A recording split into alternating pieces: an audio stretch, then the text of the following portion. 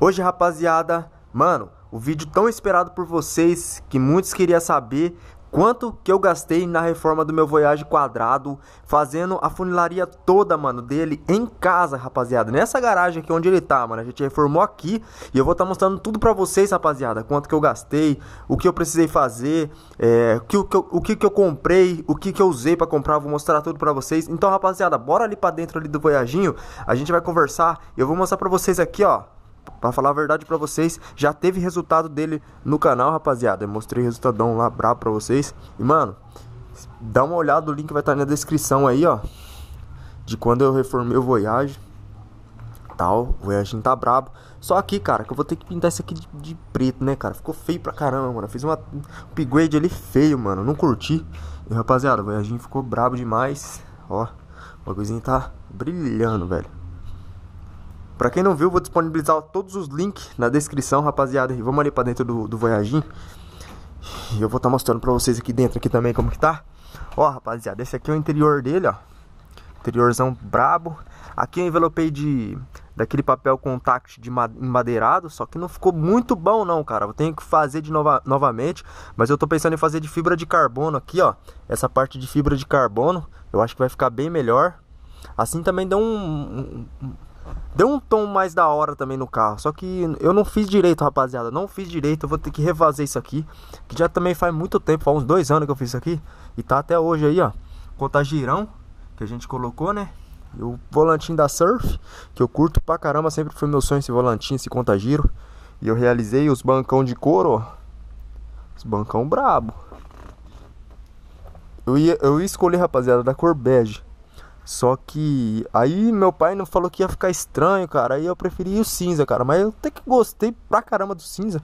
Fortaleceu demais. É, rapaziada, então bora começar esse vídeo pesado. Rapaziada, vou estar tá explicando tudo pra vocês o que eu precisei, mano. Quanto que eu gastei pra reformar o Voyage aqui na minha garagem, cara. Eu reformei meu carro na minha garagem.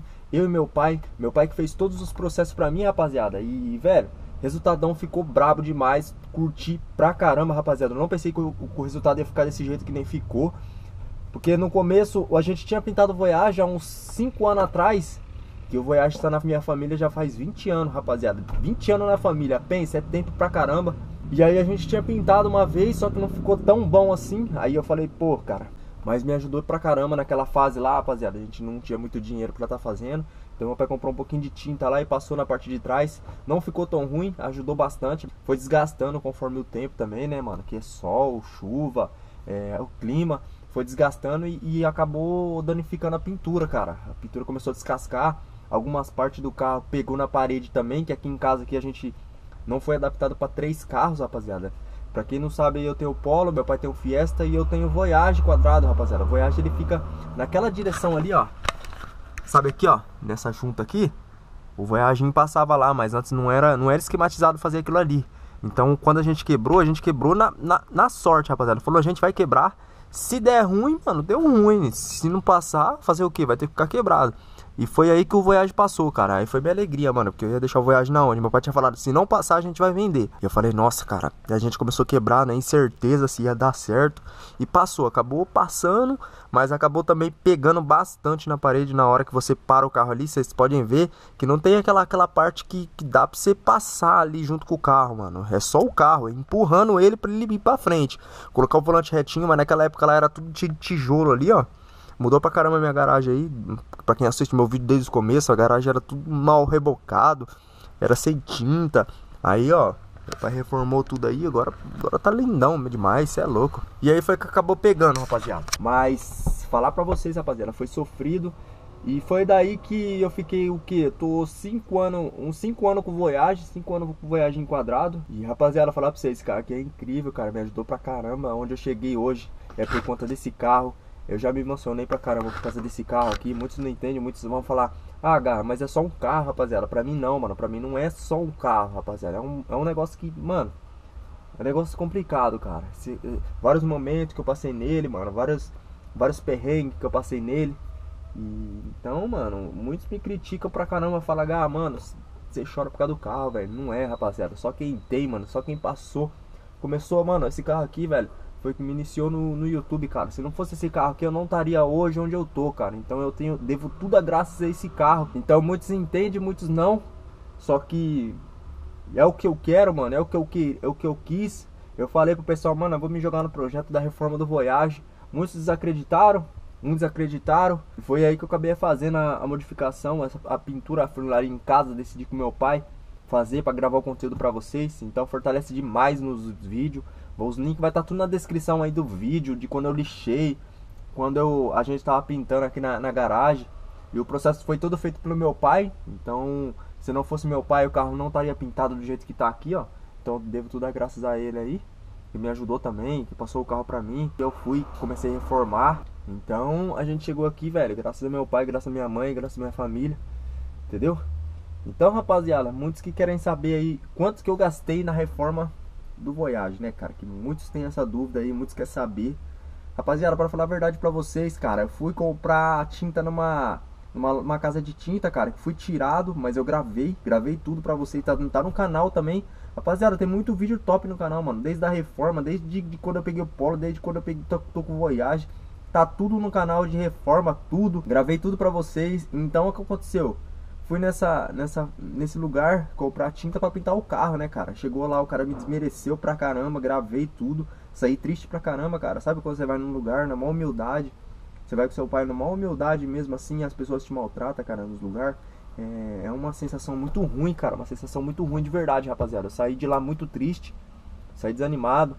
Mas aí meu pai me animou, falou, mano, dá a volta por cima disso aí, não leva isso aí pra sua vida. E foi aí que eu escutei e falei, não, realmente, cara, você não pode levar essas pessoas pra sua vida, cara. É, essas pessoas aí paga lá na frente, cara. Aparece outra pessoa e faz a mesma com ela, então não paga com a mesma moeda, rapaziada. E foi aí que eu descobri uma loja de tinta diferente, né, cara? Uma loja de tinta que eu fui super bem tratado e os caras vendeu a tinta pra mim.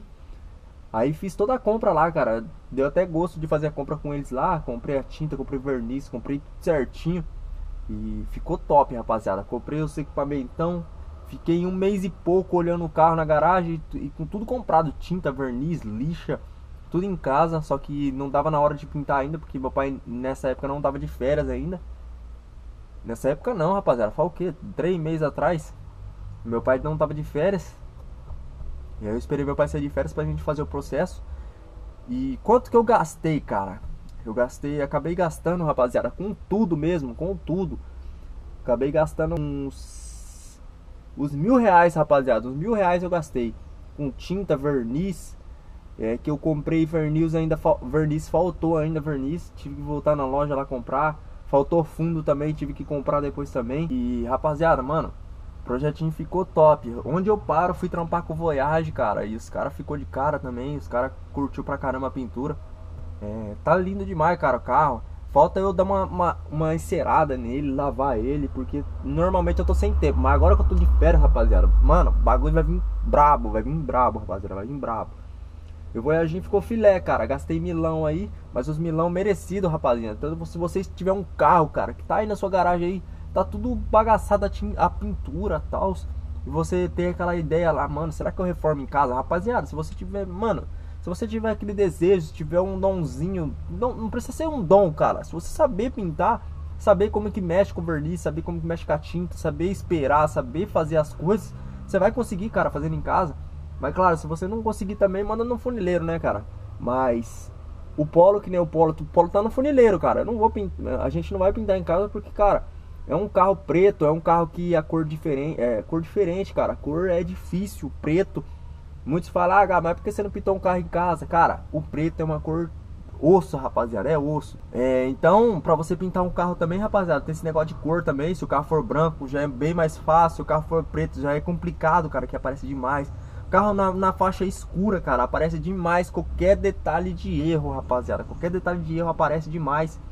Então, se você puder é, pagar alguém, ou, ou se você conhecer alguém que saiba fazer a cor, mano, eu recomendo, porque é complicado, rapaziada. Então eu gastei mil reais na reforma do carro em casa, rapaziada, em casa. E o carro ficou top, cara. Ficou top demais, surpreendente. Tô curtindo pra caramba. Vou estar tá mostrando pra vocês ali como que tá. Vamos ali mostrar pra vocês ali, ó. Já mostrei em vídeo pra vocês. E mano, se liga, não liga na pata de cachorro aqui não. Mas olha só como que tá. Lembra que tava tudo bagaçado, tudo riscado. Olha aí, tem que dar uma lavada, uma, uma encerada, uma polida. O carro ficar bem mais top. Só que, fala aí no resultado. Resultado brabo, brabo demais, cê é louco. Olha aí, ó. Olha o capuzão, lembra que tava tudo bagaçado?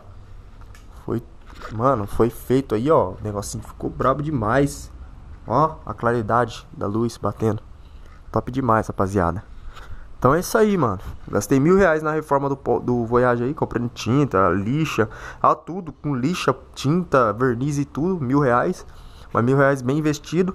Porque agora o Voyage tá filé, cara. Onde para chama atenção demais. Então é isso aí, rapaziada.